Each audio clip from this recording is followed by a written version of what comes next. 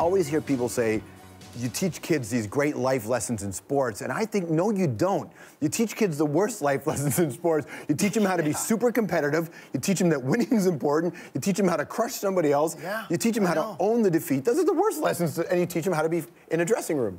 You're right, and it's come back to what you said. We're getting so sensitive, and, and the, the, the, word bullying is now yeah. such a big word. You've got to be so careful. I mean, I've had people say that I'm a bully teacher on the show. You know, that's not that's not my definition of bullying. Right. I was bullied as a kid, and I bullied kids. Yeah.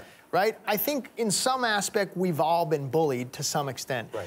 The extreme cases where kids have taken their lives and, and very sad situations that have gone too far and, and probably parents were unaware you know, yeah, that's that's real bullying. But like, nice shirt, buddy. That's not bullying. Not bullying oh, yeah. where'd you well, get that? Your mom? Like, that's not bullying. I that's how we did things right. as kids. I also think the challenge is that for our generation, we grew up with person what bullying can be too much, but in those in those middle examples, it's just this. We grew up without the Facebook version of bullying, and that's the issue, right? So we have yeah. people who didn't grow up in the yeah. Facebook world trying to attach their worldview to something that they have no concept of which is the modern online bullying, well, right? It, what, it's different, I guess. You know, when I was a kid, if your dad, you'd go home and you'd say, Dad, this kid said this about me, and it hurt. You'd say, your dad say, well, go fight him.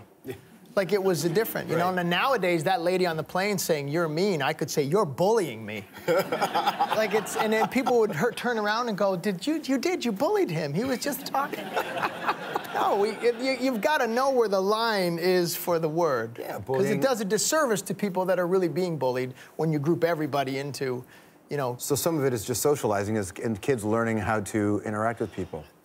But uh, yeah. you're right. There's a, obviously yeah, and then the right? Miami Dolphins had a, it was that was the, probably the most prolific case recently of and that I mean I don't know where that ended up, but now it's transcended into the professional sports. But man, you've been in locker rooms like it's if you if you define bullying with chirping and bullying, yeah. it would happen all the time, and you wouldn't last very long. You just wouldn't. No, in fact, some of my best material comes out of the in a hockey dressing room, right? Stuff that I could never say on TV. It would be the end of our careers. Yes. You know? George bullied me on Twitter the other day because he said I ran into a friend of yours. And I was all excited, and I went, oh, and I clicked on it, and he had the, the Habs and uh, ahead of the Leafs in the standings, and I'm like, that's bullying. That's, Technically, that's bullying. I, I, did that to you. It's true. I did tweet him a picture of the standings because you did that to me four times. Yeah, I did it. Every, I think I did it every goal. You did night. every goal. Hey, George, look who I just saw. It was a picture of the yeah. Habs losing, right? Yeah. But that's just that's just. Mine's bros. just making fun, having fun. Yours is bullying. Mine is absolutely bullying.